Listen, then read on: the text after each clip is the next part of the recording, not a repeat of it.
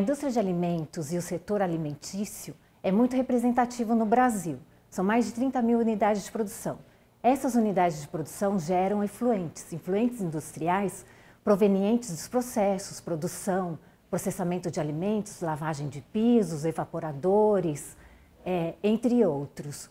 Os principais resíduos sólidos gerados nessas unidades de produção são cáscaras, bagaços, sementes, restos de carnes, vísceras, gorduras, leveduras, todos esses resíduos devem é, receber uma disposição final adequada. O tratamento de resíduos e águas residuárias é, pode ser feito no nosso laboratório de é, bioengenharia, onde os estudantes, através de estudos de cinéticas de reação, hidráulica de reatores, balanço de massa de reatores, estudam o sistema de tratamento através de duas tecnologias.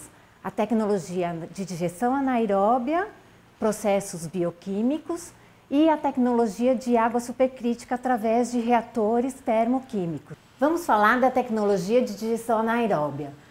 O sistema de tratamento de águas residuárias através da digestão anaeróbia ocorre através da biodegradação da matéria orgânica ou seja, a oxidação da matéria orgânica através de microrganismos heterotróficos. Esses microrganismos existem na natureza, são eles que fazem a biodegradação dos rios, lagos e represas. O que o sistema de tratamento faz nessas unidades simplesmente seria o mesmo que a natureza faz, mas de forma mais intensificada e controlada. Os reatores anaeróbios, os estudantes são capazes de estudar através de um controle de temperatura desse banho termostatizado e os dispositivos de entrada e saída, fazer tomas de amostras do líquido e do gás. O gás produzido nessas bolsas é encaminhado ao cromatógrafo gasoso e nele nós somos capazes de analisar a concentração exata de hidrogênio ou metano. São gases combustíveis uma fonte de energia renovável, energia proveniente das águas e resíduos. Agora vamos falar da tecnologia hidrotérmica. Quando a água é submetida a alta temperatura e pressão, acima de 374 graus Celsius e 22,5 megapascal, se chamamos de água supercrítica. A água supercrítica, ela não é nem um gás nem um líquido, ela atua como um fluido.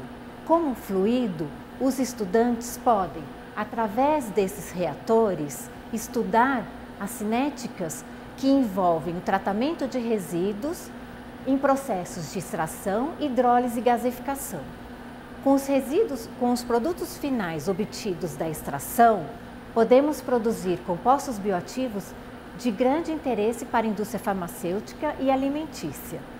Do hidrolisado, nós podemos obter açúcares fermentáveis que vão contribuir com a fermentação alcoólica e produção de etanol 2G.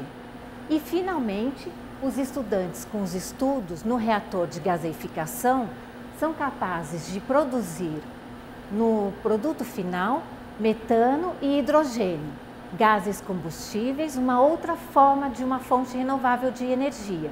Dessa forma, vamos estar dando um uso todos os resíduos que são gerados na indústria de alimentos.